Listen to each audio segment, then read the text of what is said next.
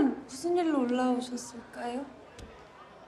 문제 맞히면 상품권 한 장이니까 정답 맞히고 그 노래 직접 부르면 상품권 세 장 되나요?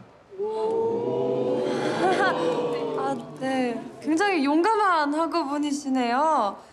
네, 그럼 우리 사연인들이 짝사랑 사연과 함께 가장 많이 신청한 곡 정답이 무엇일까요? 정답은 바라봐줘요입니다. 네, 정답입니다.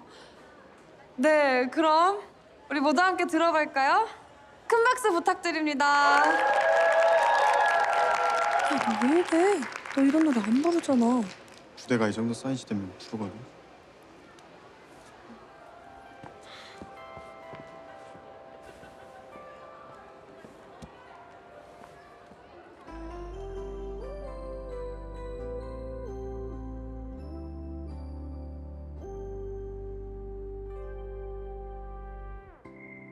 그대를 다시 볼 수 있다는 생각을 해요. 잘한다.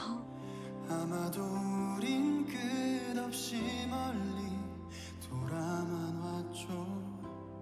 엊그제부터 또 생각이 나서 이제 더는 안 될 것 같아.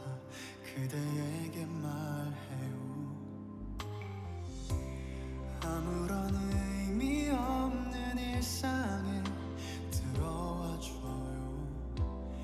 그대와 함께 하고 싶은 게 참 많은 걸요. 익숙해질 쯤 그댈 기다리는 게 왠지 마주칠 것만